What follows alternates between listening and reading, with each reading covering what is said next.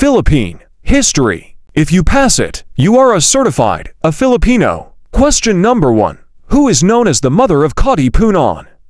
Who helped Andres Bonifacio's movement? A. Gabriela Silang, B. Melchora Aquino, C. Gregoria de Jesus. Answer. B. Melchora Aquino. Question number 2. Who is considered the father of Philippine Revolution? A. Apolinario Mabini. B. Emilio Aguinaldo. C. Andres Bonifacio.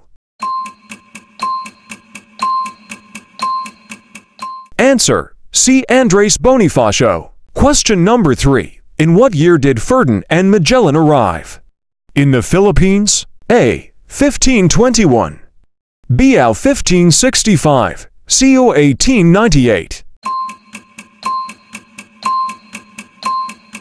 Answer. A. 1521. Question number 4. Where was the Proclamation of Philippine?